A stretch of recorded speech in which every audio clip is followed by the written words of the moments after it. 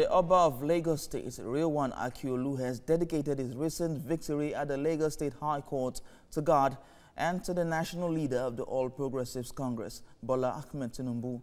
A court in a landmark judgment on Friday held that Rilwan Akiolu is the authentic Oba of Lagos. We'll bring you details in this report. Title chiefs and well-meaning Lagosians from far and near are at the palace to celebrate with Alayeluwa, on his victory after long-drawn legal proceedings that lasted for 16 years. It brings to an end the unnecessary litigation by some members of the Akishimoyi ruling house. Oba Akiolu I'll always remain with the truth, stand by the truth, and says the truth all the time. I thank the Akiolu family of Lagos.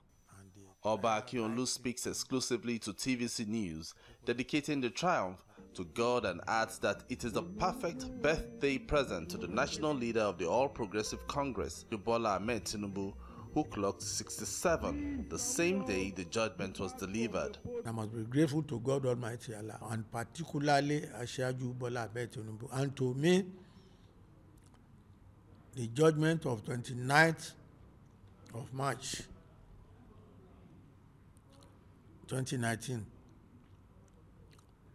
I will say from God Almighty Allah is a special birthday gift to Bola Asiwaju Ahmed Tinubu for progress for Lagos State and the entire country for peaceful coexistence for all of us. He says that lawyers must be sanctioned when they mislead clients for monetary gains, citing the example of his case, which he says ought not to have been filed in the first instance. It is high time the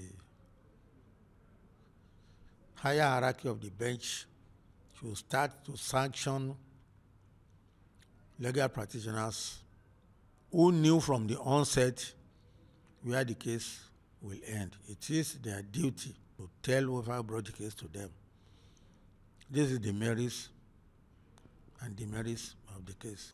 He also speaks on the state of the nation, calling on Nigerians to support the President Muhammadu Buhari administration to fulfill his electoral promises. If we come together, come out with useful suggestions to the government, and we be way in the way of God, all will be well with us. The claimant had gone to court to challenge the emergence of Rilwan Akiolu as Oba of Lagos, but the ruling has now legitimized his installation and thrown out their case.